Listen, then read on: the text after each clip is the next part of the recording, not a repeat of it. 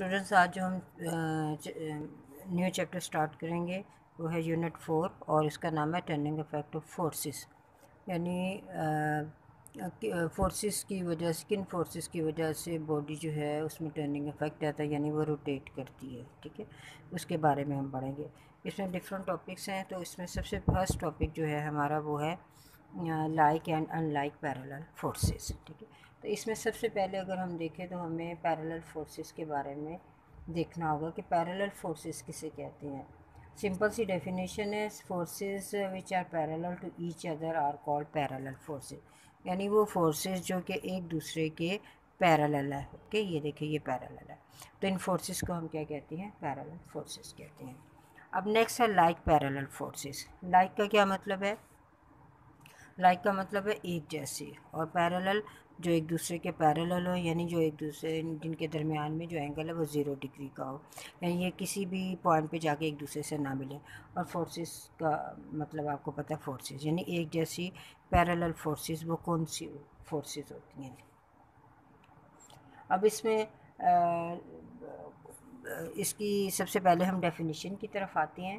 Like parallel forces are the forces that are parallel to each other and have the same direction یعنی جو forces ایک دوسرے کے parallel ہیں اور ان کی ڈائریکشن جو ہے وہ کیا ہے وہ سیم ہے تو ان فورسز کو ہم کیا کہتے ہیں لائک پیرالل فورسز کہتے ہیں اب اس کی اگزامپل کے لیے ہم جیسے ایک گاڑی ہے ٹھیک ہے وہ آپ اسے چلا رہے ہیں تو وہ چلتے چلتے کیا وہ رک جاتے یعنی اسٹاپ ہو جاتی ہے اب اگر وہ گاڑی اسٹاپ ہو جاتی ہے رک جاتی ہے تو کوئی مکینیکل فالٹ ہوگا، ٹھیک ہے؟ تو اس کو پھر موو کروانے کے لیے آپ کیا کریں گے؟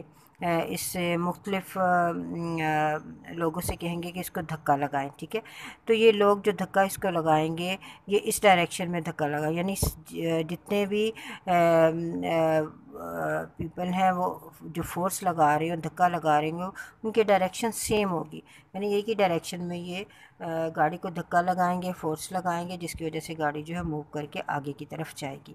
تو یہ فورسز جو ہوں گی، یہ فورسز کون سی ہوں گی؟ لائک پیرالل فورسز یعنی ان فورسز کی جو ہے، ایک تو یہ ایک دوسرے کے پیرالل ہوں گی اور دوسری ان کی ڈائریکشن جو ہے وہ سیم ہوگی۔ یہ ایرو کے سائن یہ شو کر رہا ہے کہ ان سب فورسز کی ڈائریکشن جو ہے وہ کیا ہے؟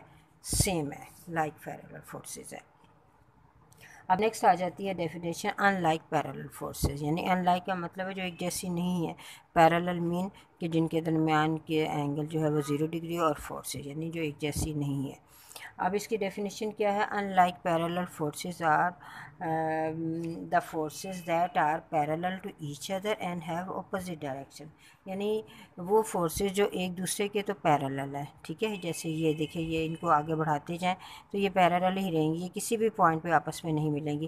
لیکن ان کی ڈائریکشن جو ہوگی، وہ کیا ہوگی؟ اپوزٹ ہوگی۔ یعنی اگر ایک اس ڈائریکشن میں ہے فورس تو دوسری کیا ہوگی؟ اس ڈائریکشن میں فورس ہوگی۔